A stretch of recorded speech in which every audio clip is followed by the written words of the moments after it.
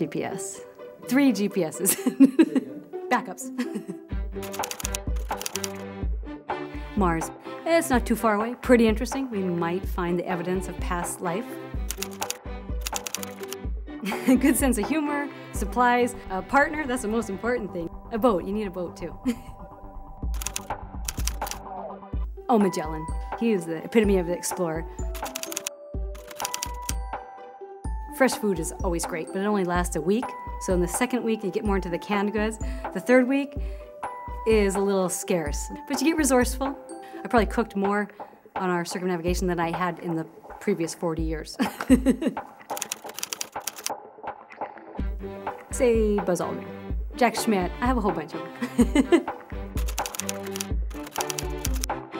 It's really important to have an iPod that's really loaded when you're sailing around the world. So jazz, blues, almost anything but country and western.